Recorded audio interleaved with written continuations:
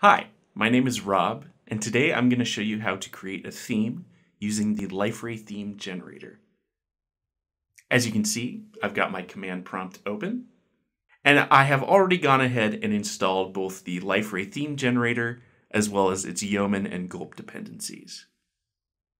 So, in order to run our Liferay theme generator, we simply use the command yo liferay dash theme. So it's going to ask you what you want to call your theme.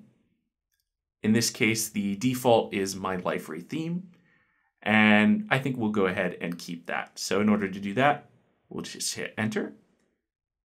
It's going to ask what ID we want to give to our theme. We'll go ahead and keep the default by hitting enter once again. The version of Liferay that we're going to use in this case is 7.4, so we'll hit enter. Going to ask if we want to add font awesome to our theme. We'll go ahead and hit Y for yes. We'll go ahead and overwrite that package.json. Yes. Yep. We'll overwrite that.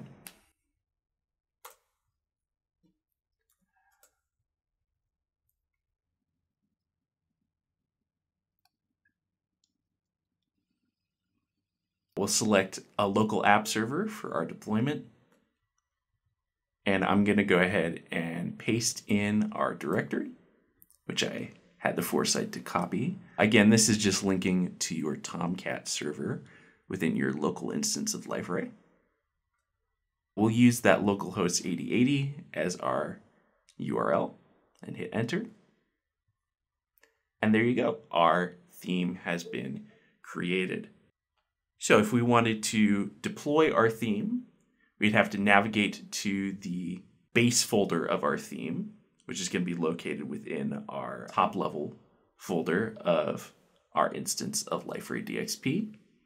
And from there, we could run the gulp deploy command while our instance was running in order to deploy our theme.